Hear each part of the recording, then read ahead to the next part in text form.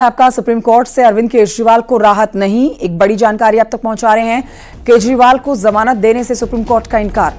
Delhi high court ने केजरीवाल की रिहाई पर लगाई थी रोक। सुप्रीम कोर्ट ने हाईकोर्ट के आदेश का इंतज़ार करने को कहा है।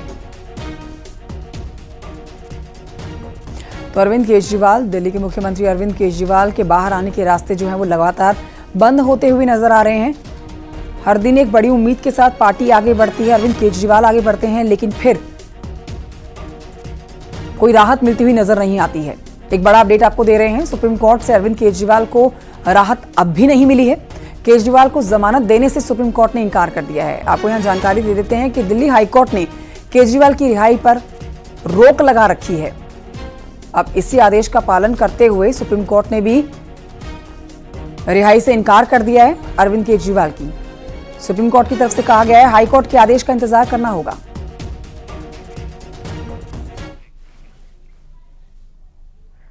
लोकसभा चुनाव के बीच में आकाश आनंद की आक्रामकता को देखते हुए मायावती ने अपने भतीजे को अपरिपक्व बताया था। इसके साथ ही आकाश आनंद से मायावती ने सारी सियासी शक्तियाँ छीन ली थी, लेकिन ज़ीरो सीटें और घटे वोट प्रतिशत ने मायावती का, मायावती को दो कदम पीछे हटने पर मजबूर कर दिया। देखिए रिपोर्ट।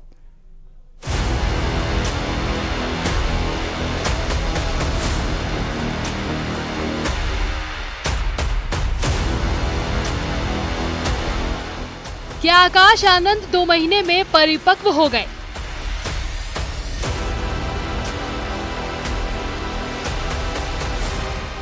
क्या मायावती को भतीजे पर फिर भरोसा हो गया?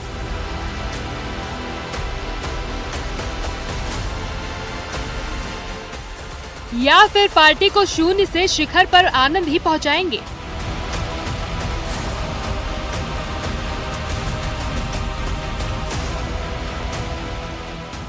क्योंकि बसपा सुप्रीमो मायावती के भतीजे आकाश आनंद की राजनीति में री एंट्री हो चुकी है।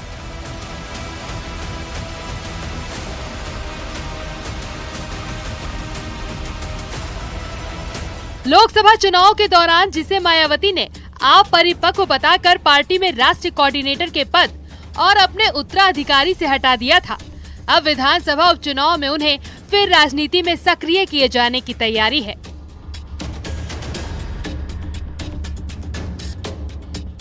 यूपी समेत अन्य राज्यों में होने वाले विधानसभा उपचुनाव के स्टार प्रचारकों की लिस्ट में मायावती के बाद दूसरे नंबर पर आकाश आनंद का नाम है।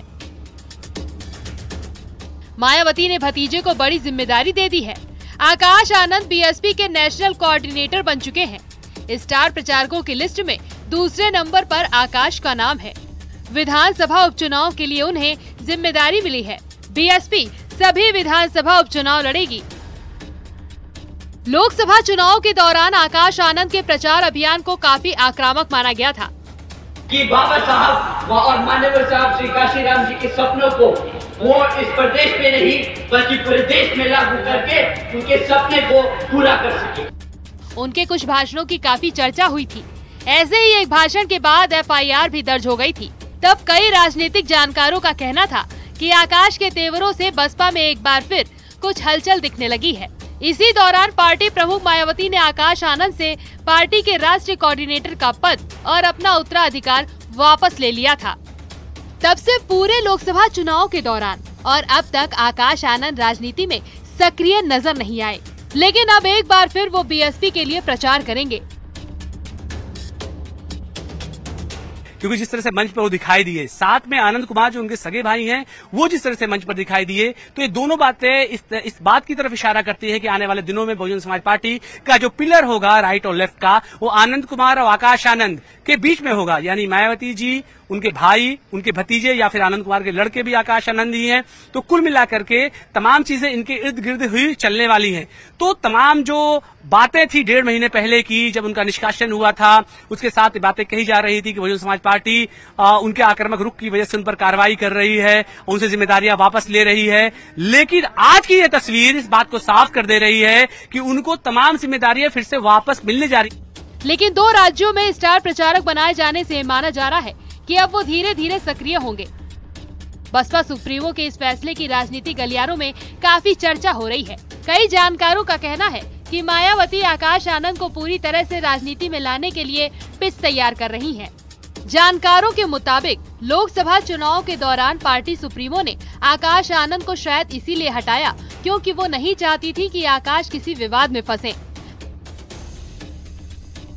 रणनीति बनाई है आगे। 2027 में पूर्ण बहुमत की सरकार बनाना है। सभी कार्यकर्ताओं के लिए आकाश आनंद जी को जो ज़िम्मेदारी थी वो बहाल कर दी गई। जी? सभी चुनाव लड़ेंगे जो सामान्य चुनाव हो चाहे उपचुनाव हो सभी चुनाव पर बहन जी ने कहा है चुनाव लड़ेंगे। क्या आकाश आनंद जी को उत्तराखंड की भी ज़िम्मेदारी दी गई है? पूरे देश की। पद पर बहाल करते हुए माननीय बहन जी ने उनको नेशनल कोऑर्डिनेटर बनाया है और अपना बहन जी ने उत्तराधिकारी बनाया है। पूरे देश की ज़िम्मेदारी रहेगी उनके पूरे देश की ज़िम्मेदारी दी है माननीय जो बहन जी। ने। आगामी चुनाव आने वाले हैं उपचुनाव उसको लेकर कोई दिशा निर्देश बहन जी ने कहा कि हम सभी उपचुनाव लड़ेंगे जहाँ जहाँ यूपी में लड़ेंगे। बसपा पिछले कुछ समय से मान्यवर काशीराम जी का जो बताया रास्ता था उस रास्ते को भूल गई है। कहीं ना कहीं वो अन्याय करने वाले लोग जो आरक्षण को समाप्त करना चाहते हैं जो बाबा साहब के संविधान को कमज़ोर करना चाहते हैं, उनके साथ प्रत्यक्ष, अप्रत्यक्ष रूप से खड़ी नज़र आई। इसलिए आज देश की राजनीति में बसपा की जो दुर्दशा है, उसके लिए अगर कोई जिम्मेदार है तो बसपा की खुद की नीतियाँ जिम्मेदार हैं। आकाश आनंद पहले भी यूपी के बाहर, दूसरे राज्यों में पार्टी के लिए अहम जिम्मेदारियाँ संभाल चुके हैं। इस बार भी रणनीति यही है कि पहले उन्हें दूसरे राज्यों में सक्रिय किया जाए, फिर धीरे धीरे यूपी में भी वो सक्रिय नज़र आने लगेंगे। 2027 के विधानसभा चुनाव तक उन्हें पूरी तैयारी के साथ मैदान में उतारा जा सकता है। ब्यूरो रिपोर्ट, न्यूज़ 18 गुजरात के कच्छ में कॉलेज के दो छात्रों ने रील बनाने के चक्कर में कुछ ऐसा कर दिया जिसे देख और सुन हर कोई हैरान हो गया है। इन दोनों छात्रों ने कच्छ के मुद्रा में समुद्र तट के पास दो थार गाड़ियों को गहरे पानी में धकेल दिया। समुद्र की लहरों के बीच में ये दोनों गाड़ियाँ पानी में फंस गई। दोनों छात्रों को मुसीबत में देख स्थानीय लोगों ने उनकी मदद की और लोगों ने दोनों गाड़ियों को बाहर निकाला। वहीं अब कच्छ पुलिस ने इन दोनों छात्रों के खिलाफ मामला दर्ज कर लिया है। मुंद्रा मरीन पुलिस ने करण सोरठिया और परेश सोरठिया पर लापरवाही में गाड़ी चलाने और लोगों की जान खतरे में डालने के आरोप में मामला दर्ज किया है।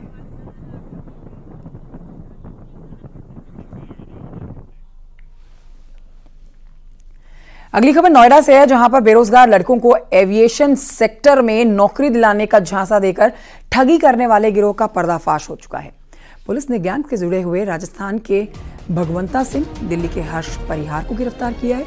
इस फर्जी कंपनी की सीईओ श्वेता मिश्रा भी फरार है। हवाई अड्डे पर नौकरी दिलाने का झांसा देकर ये लोग बेरोजगार लड़कों से ठगी करते थे। इन लोगों ने थाना सेक्टर तिरसठ में ऑफ़िस भी बना रखा था। चार लैपटॉप, सात मोबाइल फ़ोन पुलिस ने बरामद किए हैं। आरोपियों के खाते के सात लाख इकसठ हज़ार रुपए फ्रीज कर दिए गए हैं।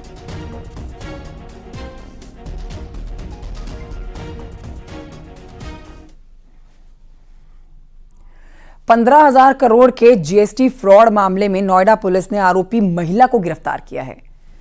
पुलिस ने तमिलनाडु के कोयम्बटूर से उसे गिरफ़्तार किया है। उसके ऊपर पच्चीस हज़ार रुपए का इनाम घोषित था। आरोप के मुताबिक वो कई फर्जी कंपनियों के नाम पर धोखाधड़ी कर रही थी। सुगन्या प्रभु पर फर्जी दस्तावेजों पर कंपनी बनाकर इनपुट टैक्स क्रेडिट, यानी आईटीसी लेकर सरकार पंद्रह हज़ार करोड़ के राजस्व का चूना लगाने का आरोप है। पुलिस इससे पहले इस मामले में सैंतालीस आरोपियों को गिरफ़्तार कर चुकी है।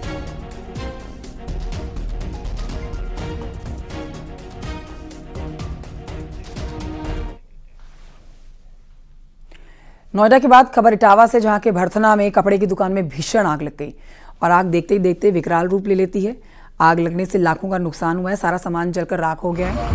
घटना की सूचना पर फायर ब्रिगेड की टीम मौके पर पहुँची। कड़ी मशक्कत के बाद आग पर काबू पाया गया। भरतना के रेलवे फाटक के पास की ये